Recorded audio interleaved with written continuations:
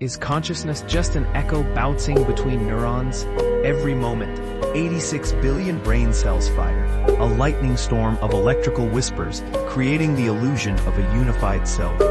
Philosophers have wrestled with this mystery for centuries.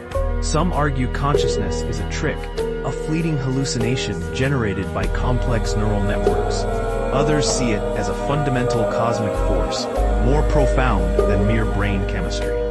Imagine your thoughts as quantum ripples, each memory a delicate web, dissolving the instant you try to grasp it. Are you a continuous being, or just the temporary pattern of shifting electrical impulses? Eastern traditions suggest consciousness is an infinite ocean, and we're momentary waves, distinct yet inseparable from the vast underlying awareness. Western science probes this enigma through neuroscience and quantum mechanics, each perspective reveals another layer of mystery. Our sense of self feels so real, yet it might be nothing more than an elaborate story our brain tells itself. A narrative constructed from memories, sensations, and fleeting electrical signals.